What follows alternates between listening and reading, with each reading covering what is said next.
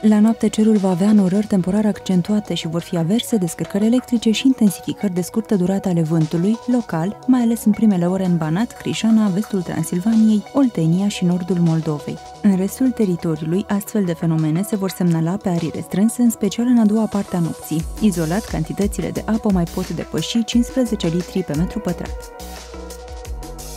Temperaturile minime se vor încadra între 9-10 grade în depresiunile intramontane și 20-21 de grade pe litoral. În capitală cerul va fi temporar noros și va ploua în special spre dimineață. Vor fi posibile descărcări electrice, vântul va sufla slab până la moderat. Temperatura minimă va fi de 15-17 grade Celsius. Mâine, vremea va fi în general instabilă, iar valorile termice în scădere în majoritatea zonelor. Cerul va avea norări în toată țara temporar mai accentuate. Ploile vor fi mai frecvente și mai însemnate cantitativ în zonele montane și submontane, precum și în regiunile sud-estice, în timp ce în restul teritoriului va ploua local. Vor fi mai ales averse, însoțite de descărcări electrice și intensificări de scurtă durată ale vântului, în special în sud-est, și vor fi condiții de grindină.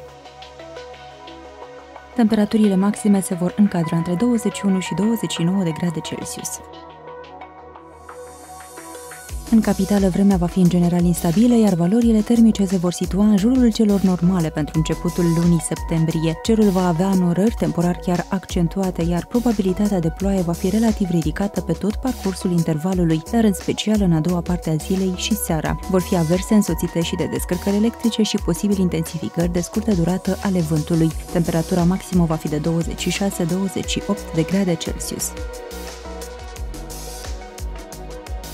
La munte vremea va fi în general instabilă, cerul va avea norări temporar accentuate și vor fi ploi frecvente și mai însemnate cantitativ. Vor mai fi averse, însoțite de descărcări electrice și intensificări de scurtă durată ale vântului și condiții de grindină. Temperatura aerului va fi în scădere în cea mai mare parte a zonei montane.